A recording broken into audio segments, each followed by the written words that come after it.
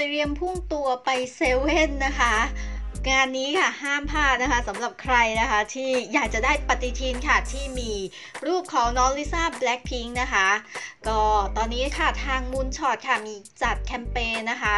บอกว่านะคะถ้าเกิดซื้อผลิตภัณฑ์นะคะของ Moonshot ค่ะ 1 ชิ้นนะคะ สามารถที่จะรับฟรีทันทีค่ะ ปฏิทินของน้องลิซ่านะคะ งานนี้ค่ะจัดขึ้นนะคะ ตั้งแต่วันที่ 13 จนถึง 31 ธันวาคมนี้นะคะ หรือจนกว่าของจะหมดนะคะ เพราะว่าของมีจำนวนจำกัดค่ะ แล้วก็เฉพาะเซเว่นนะคะ สาขาที่ร่วมรายการเท่านั้นนะคะ